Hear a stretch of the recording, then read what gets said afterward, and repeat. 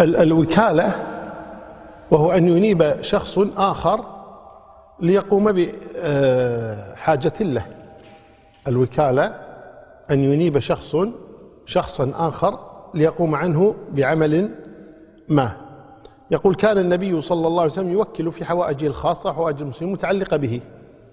في حوائجه الخاصة صلى الله عليه وسلم كما وكل آه، آه،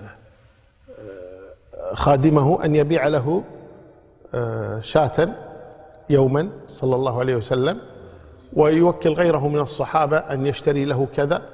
هذا كله توكيل خاص توكيل خاص.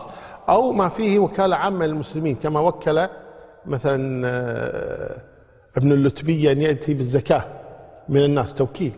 أن اذهب وأتي بالزكاة. عبد الله بن رواحة أرسله إلى اليهود ليأتي بال آه، شو اسمه؟ ما صالحهم عليه النبي صلى الله عليه وسلم في خيبر. ما صالحهم عليه النبي صلى الله عليه وسلم في خيبر. كان عبد الله بن رواحة يذهب إليهم يخرص نخلهم ثم يأتي للنبي صلى الله عليه وسلم بما- عاهد عليه أو صالح عليه اليهود في خيبر. فالقصد أن الإنسان يحتاج أن يوكل. يحتاج أن يوكل. لا يمكن للإنسان يقوم بجميع حاجياته بل يحتاج إلى غيره أن يساعده في بعض الأمور. قال فهو عقد جائز من الطرفين. عندنا العقود كما تذكرون عقود يعني لازمة للطرفين كالبيع والإجارة هذه عقود لازمة للطرفين. عقود آه، لازمة لطرف دون طرف كالرهن مثلا. طيب آه، عقود آه، جائزة من الطرفين. يعني أي واحد فيهم يفسخ متى شاء كالوكالة. يعني أنا وكلت شخصا ثم بعد ذلك رأيت ان ألغي الوكالة.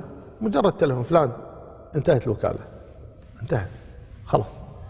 أو أحد وكلني فلان أنا لست وكيلا عنك. انتهى الأمر. أي واحد منهم الوكيل أو الموكل أي واحد منهم يستطيع أن ينسحب في أي وقت. ما لم يقع ضرر على الآخر. لكن القصد أن الوكاله عقد جائز. يعني لا مو مثل البيع. بعتك سيارتي مثلا فلان هونت على البيع جيب السيارة. لا مو بكيفك. تم البيع. هذا عقد لازم. أجرت بيتك. فلان اطلع. هونت ماني مأجر لك؟ أجرت لي خلاص مو بكيفك.